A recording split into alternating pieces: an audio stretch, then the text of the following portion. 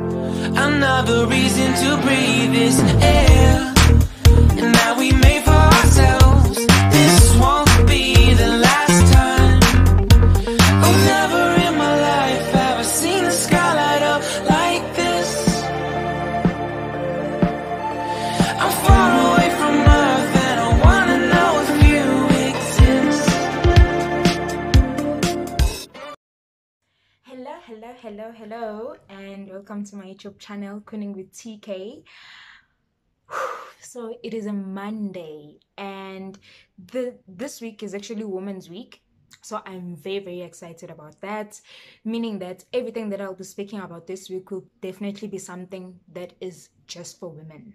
Okay, just for women, and yeah, maybe some men, but mostly women because we are celebrating women this week. So yes, okay. So um, if it is your first time joining me, welcome to the family, and I hope you are here to stay. Please do not forget to subscribe, like, and share the video, and also hit the notification bell that um, is next to the subscribe button. And if it's not your first time joining me, thank you so so much for the support and for the suggestions that i get and all the emails and inboxes that i get.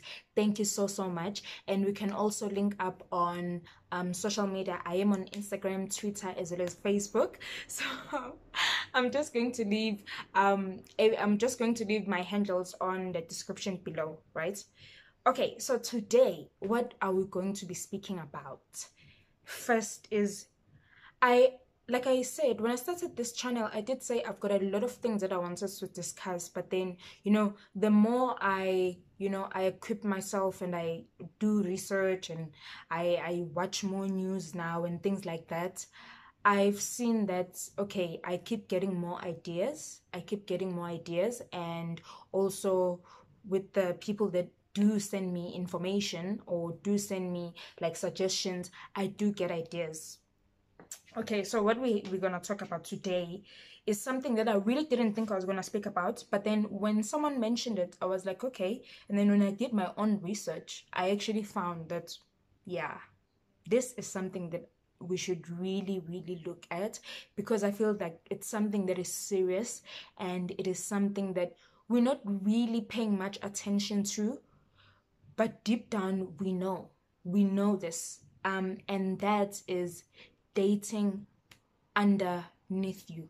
No how do i put it? Dating someone who is below you as a woman. Dating a guy who is below you. He can be below you in in well mostly no. Basically let me just be straight about it. Dating a guy who's below you in finances. Now, I'm not saying that, you know, you should be a gold digger, you should look for all these guys. I feel like a guy should be on the same level with you or should be a bit higher than you. Reason being is that men, they are very, they have ego and they're very masculine, right? So if a woman earns more than the men, there's always gonna be problems because the man will always feel like he is not man enough. He cannot provide for you, he cannot protect you. He basically cannot do anything for you because you can do everything yourself. And men, what they like is they like being needed. All men like being needed. They might not say they might say they like Miss Independent, but then as soon as a, a guy gets a really, really independent woman, you're gonna see what he's gonna do. He is going to cheat And when he cheats, he's going to cheat with women that are below him financially.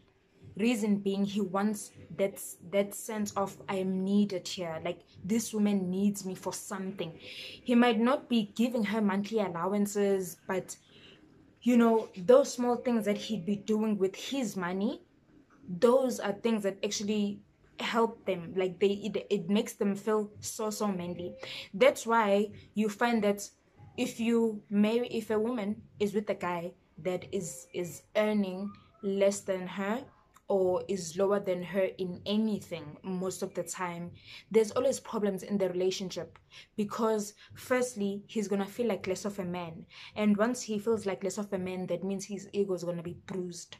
And once his ego is bruised you can't have a happy relationship because you have to spend all your time trying to fix him trying to make him feel better, trying to make him feel manly. And there's nothing that you can actually do or say to make him feel manly. As long as you're still here and he's here, he's always gonna feel like that. Men like being needed. Men like being, they are masculine. Men like being men. That's why they are men. Like they like the thing of, you know, I'm the man. And he can't say I'm the man when he doesn't even pay electricity in the house. I do everything. He's the man for what? Just for dick only which is actually why i'm going to use this as an example. You see this um Zodwa Wabantu and then Ntobeko guy let's not look at the fact that okay the age gap let's not look at the fact that um she's younger than him way younger but the fact that firstly he's got more money than her. And on top of that he just she just went to pay lobola for him I mean, as as a guy, as a guy, how would you feel? Because I know some some people what they say is that um um the men if you've helped your your your boyfriend or your fiance pay lobola for you they the man always feels that it's like some type of way because to him it's like that stuff that he's supposed to do. So she didn't just help him pay lobola for her she paid lobola for him. Like how did she actually expect that to last because she's made him feel what's this word? Emasculine. Yes i think it's emasculine. When when you take away the men's masculine uh, the men's manhood or whatever like i don't know how to say this word. I really don't know how to say this word but then you emasculate him or something like that where you make him feel already he knows that he doesn't earn more than you. And on top of that he and then on top of that you keep doing things that actually show the whole world just not just the two of you now it's showing the whole world that this guy is below me this guy is i make more than him and all of that. Um i remember this other time um this other time my my partner at the time was was speaking to someone. So what i did is i did it out of love but what I did is that um, I spoke to that person. I was like, you know, since you're speaking to so and so like this, I don't like it because I don't want him to do one, two, and three. While my partner at the time had already agreed that he's gonna do one, two, and three. So when I got home, because we were speaking over the phone, when I got home, I thought I was actually saving him, only to find that when I got home, when I got home, the guy was angry because he was saying, you know, you just showed this guy that you don't respect me. You don't, how can you speak to him on my behalf? I can do that for myself. So imagine if I'm earning more than him and then I'm not just, it's not just the two of us in the house that know this. I'm showing the whole world that, okay, I'm here and he's here. It will never, ever, ever work. And I know that we know women, we end up sometimes doing this because we've got a lot of things like we've got the biological clock that is clicking that is ticking. We know that's okay by by uh, if i'm 35 and i don't have anyone let me just take whatever. Don't because what's going to happen is that you are going to end up with a man that will firstly you're going to divorce. If you do get married you're going to divorce. Secondly if you do have children you're going to end up being a single mother. Thirdly when by the time that you divorce that person there's going to be so much resentment from the guy to you. Reason being is because you've made him feel so you've taken away his manhood. You've you've basically made him a joke. You have made him a joke. And there is and i think you know us women the reason that we actually intentionally go for guys that we know we know that they are lower than us in any kind of way is i feel t- to me i think that is kind of also like insecurity on our side as women because most of the time what we think is that okay if I, if I do everything for a guy um you know he's gonna stay with me he won't cheat he won't do all of that. But what what do these guys do? They take the same money that you give them the same car that you buy for them if you like have enough money to buy them a car and they use that money and they use that car to impress other women women that are lower than them financially so i'm not sure if what i'm saying actually makes sense but i've actually seen this and i've actually seen cases where the woman is paying spousal support for a man. Like what is that? Because already you've you've made him such a joke and he now resents you he might as well benefit from it. So if you divorce he's gonna tell you um he's gonna get lawyers that will say fine because he's lower than you he's gonna need 10,000 a month or 20,000 a month that will come from you to pay him each and every month so that um so that he you know he he survives. So please ladies be careful. Be very very very very very careful. I'm not saying just go for the guy mainly for his money but please try to find for an example if if i am a student and my man is a student that is fine okay? That is absolutely fine. But then if i'm a lawyer and then i date someone who for an example maybe i get paid 60000 a month and then i date someone or i'm in a relationship with someone who's earning 10000 a month like what what can they really do f- in my life like with the 10000 because that's like a portion of my salary. Already i'm going to be taking care of everything in the house the car the insurance the the bills all of that. What is he doing? So what how do you think he is feeling? Does he still feel manly? Like does he still feel like okay i'm the man? Like how do you think he's feeling? Men they have this thing. That's why also and another thing ladies is when you date someone when you date someone i don't care if people say you shouldn't date for money you should just date for love. Love will not pay your bills firstly. And secondly love will not take care of your children should anything happen to you. If you date if you with someone that is earning lower than you but just because you love them um it's fine.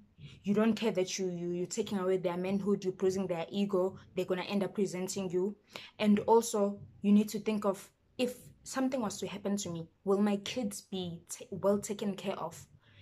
And once you see there's people that are married where the man has been emasculated so so much that he he ends up being that soft like he's just accepted it. But obviously he cheats on you yes because he wants to feel manly. If he doesn't he ends up feeling so unneeded and so feminine that even when you have kids it it like it's like people that did life sciences will know we adapt uh, our genes adapt. So that gene of being like too like soft and bruised and all of that he will pass that on to your kids. And you definitely definitely don't want your kids to have that.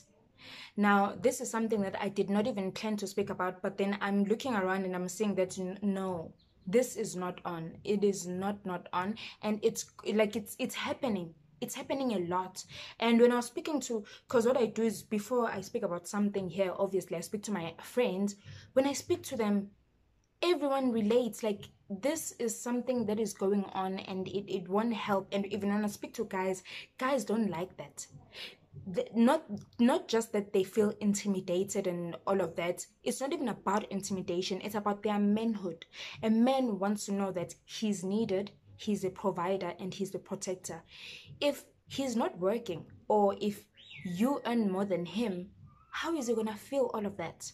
By changing light bulbs in the house like how is he gonna feel that okay i'm doing something for my woman? So ladies please please be careful. I think i'd rather i think it's better you just single than be with someone waste your youth or waste your good years with someone end up divorcing that someone and then having having that person resent you or hate you because you, you made them feel like you, you their ego you emasculated them so much have them resent you so much that the divorce is also messy and you end up having to pay for someone's for someone as if you know they are your child so I'd really, really rather that you are just single and there's nothing wrong. You're single and you wait until you find a man that will, you know, be in your level or a man. Also, another thing is energies. Energies, they are very contagious. They are very contagious because if, especially, I don't know, most of the time with women, it's if a woman, for an example, let's say I'm dating a guy or I'm with a guy who's got a lot of money. Okay, I've got my own money, but he's, he's got a bit more money than me. Automatically, I'm gonna be motivated to do more also, get more money also. Not that I'm using his money, no. I'm gonna be motivated to get more money. Just like you see in in in examples like your Rihanna's, you see that that that woman she was bankrupt in 2019. She was bankrupt in 2019, and then now she's with this billionaire. It's not that she's a gold digger. It's not that she's using his money but then it's like she also leveled up mentally when she was with him because i feel like when obviously you with you in a relationship you don't just talk oh i love you i love you. Like you build each other up. So how will your man build you up if if he's not he's below you? Even another example Amanda du Pont she's with this um business guy I won't say she's using his money, but she's she's making she's getting um she's making like better money than she was before. She she has more she has more business adventures than she did before meeting this guy. And I won't say you know it's this guy's doing but it's the mind and i remember she even wrote that you know thank you for all the business advice and all of that when you know, i think it was their anniversary or something like that but that's the thing it energies rub off. So if you're with a guy who is ambitious and who's working hard and who's motivated and who's got money automatically that's how you are going to be also. I'm not don't say i'm trying to condone the whole gold digging thing even though i don't think there's a woman who's a gold digger but then that's a story for another day. But i'm just saying please be careful. Rather you be alone than be with the guy who's lower than you. It will not do you any good at all okay so ladies um please comment down below and tell me what do you think? Would you really go for a guy that has that is lower than you? Or maybe are you with the guy that is lower than you currently and you don't mind? Or like do you get my point? Or maybe you think maybe i should have i should have said it differently or you're not understanding what i mean or anything please comment on the um, comment section below and i hope you do enjoy your weekend and i will reply to all comments that i will be getting. And yes thank you so much and have a nice day. Uh, bye